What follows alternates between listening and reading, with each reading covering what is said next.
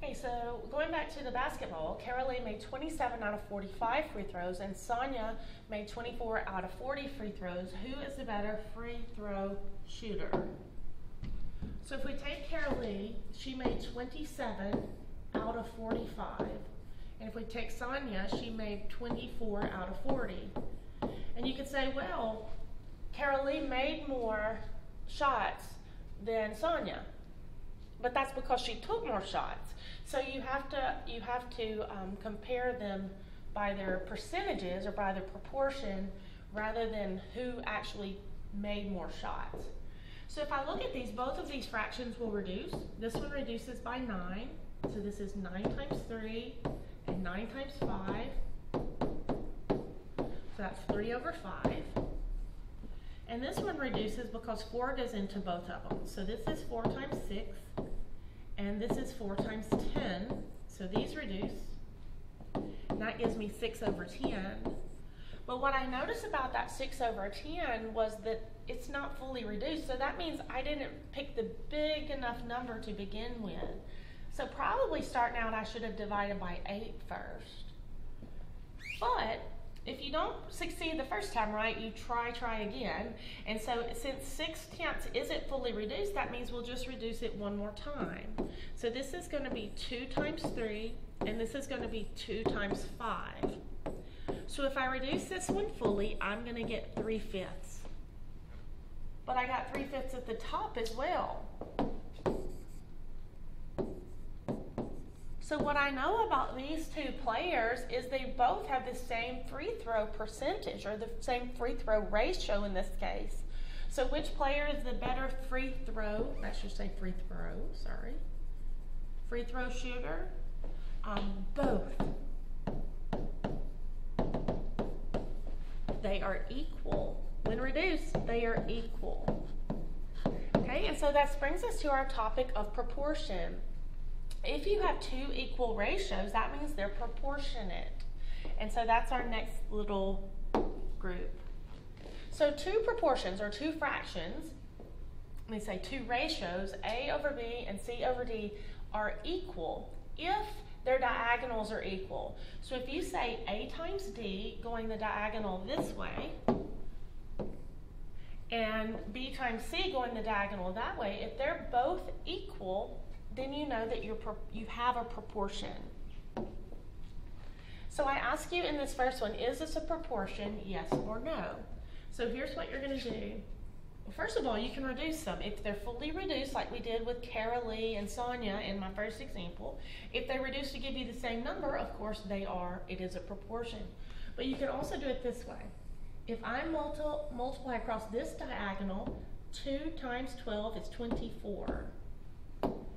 If I multiply across this diagonal, 3 times 8 is 24. So since they are equal, this is a proportion. Okay, let's try the second one. If I multiply this part out, I get 30 times 7, which is 210. If I multiply this part out, I get 28 times 8,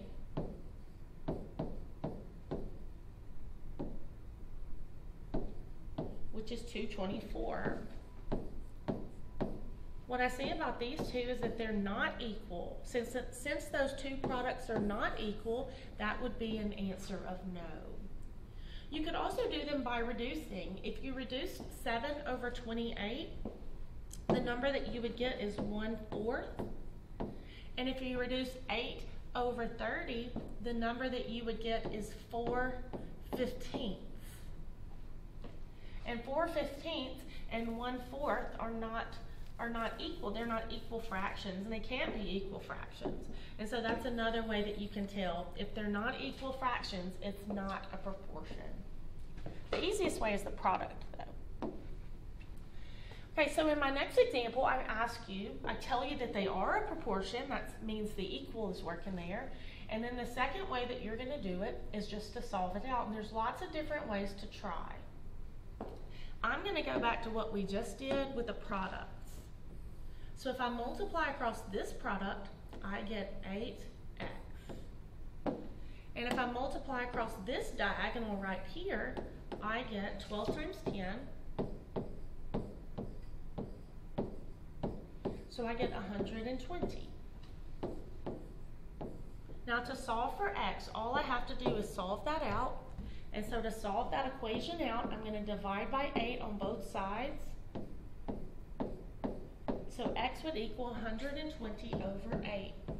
If I divide that out, it looks like this.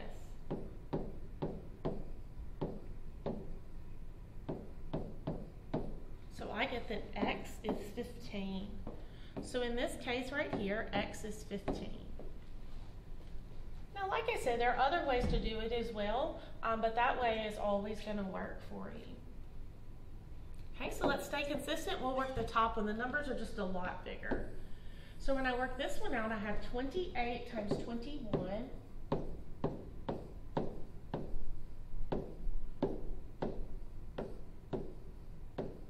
Okay, I'm going to check my math because I'm a little, um, little rusty today.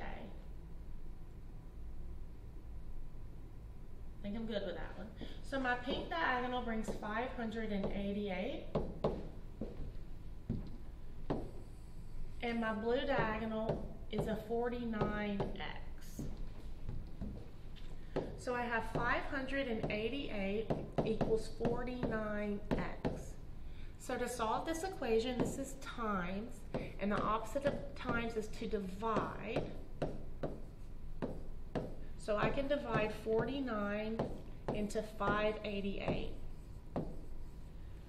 Now that looks really hard with those big numbers, but think of 49 as being really close to 50. If you get it as really close to 50, then uh, you know it's not too bad to to estimate. So I know that 50 would go into 58 one time. So 1 times 49 would look here. I can borrow here. Okay, if you're thinking about 50, thinking about 98, almost 100, 50 would go into 100 two times, so let's try that. So 2 times 49, and we got it. The answer is 12. So x would equal 12.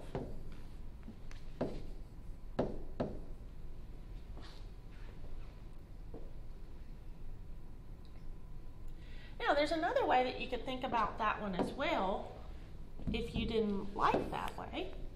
Think about it this way.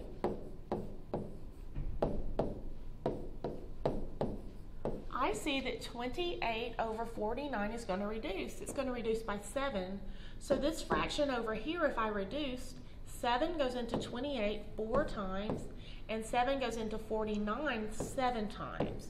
So this reduces. Now look at the other fraction. See how you have the 21 over there? If you could think about what did I turn 7, what did I multiply 7 by in order to get 21, it would be times 3. So if I multiplied on the bottom times 3, I'd have to also multiply on the top by 3. So 4 times 3 would be 12. And that's another way that you could get this answer of 12 if you wanted to work it that way.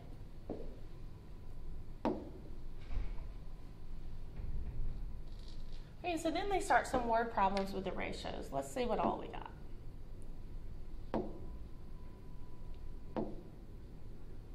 Okay, so let's finish those out. Lee works four hours this week and he gets paid $9.50 per hour. So $9.50 per hour is a ratio. So if you take $9.50 and you multiply it times the number of hours he worked, that's going to tell you how much he made.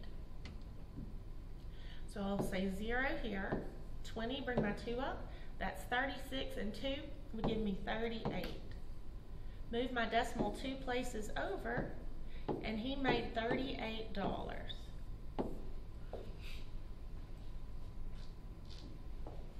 Okay, let's try the next one. Dr. Wynn can see 12 patients in two hours. Okay, so we can set up a a proportion of patients per hour. So Dr. Wynn can see 12 patients in two hours.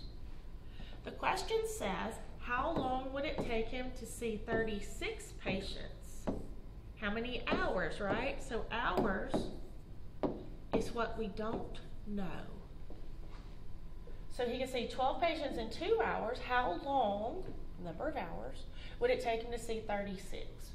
So that's how you'd set it up. And as far as how you solve it, you can work it any, any of the ways that I've shown you. I'm going to work it the diagonal way. So if I multiply this way, I get 12x.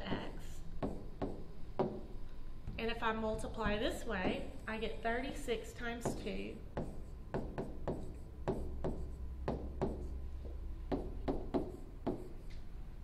To solve that out, I'm going to divide by 12. Would equal, we can divide it out. I think it's going to go 6 times. And it does. So he can see 36 patients in six hours. Now you can also work it the way that I talked to you earlier about setting it up as uh, reduced fractions. You can also just think about it this way. 12 times 3 would give me 36. So that means if I multiplied by 3 on the top, I have to also multiply by 3 on the bottom. So 2 times 3 would give me 6. So you could also work it out that way. All right, which is the better buy? You have one gallon of orange juice for $2.72, but you have four quarts of orange juice for 48 cents per quart. Okay, so we need to see how much one gallon costs in both of these scenarios. So this is one gallon over here. I don't have to do any work. But remember, four quarts is a gallon. So if I take 0.48 per quart, and I multiply it by four, because that's the number of quarts in a gallon, 16 plus 3 would be 19. Remember, I moved it two places. That means I moved it two places here. So if I bought them separately in quart form, I would pay $1.92 for the orange juice as opposed to $2.72. So this is the better buy. And that's how we would do that. Okay, and lastly, they start talking about percents.